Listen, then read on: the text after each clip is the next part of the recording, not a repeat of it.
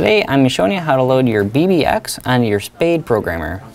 So we're going to just go ahead and start up by plugging it into your computer here through the USB and we're going to get started. So first off, we're going to go over to the email that we would have sent you here. Open it up and you're going to either download it or you're going to drag it directly to your desktop. Either way works.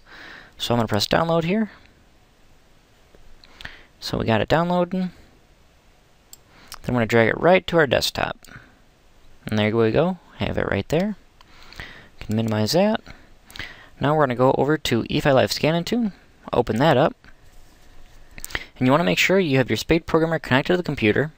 You want to make sure there's a little green check mark here, so that way we know we're connected. Now we're going to go to F5BBX. Alright, you can see nothing's here. We're at about 2%. So, on the program button right here, on the right side, there's a downward arrow. We're going to press on the downward arrow. Going to click uh, Format Config File System here. Press Yes. Go on over to Open. And we're going to find the CPS BBX settings that we just downloaded. You, you always want to download it somewhere where you're going to know where it's going to be. That's why I download it to the desktop. Nice and easy. It's going to be right here in desktop. Click, click on that, click open.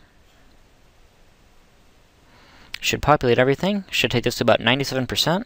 And there we go. Now we're going to press program. Press yes. Should get a green loading bar.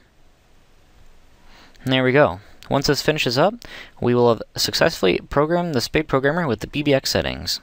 Okay, and there you have it. So after the loading bar is done, uh, you can unplug it. If you have any other questions, you can give us a call at 815-568-7920. I'm Joey. I can help you out, uh, along with any of the other guys here. Uh, we're all more than willing to help.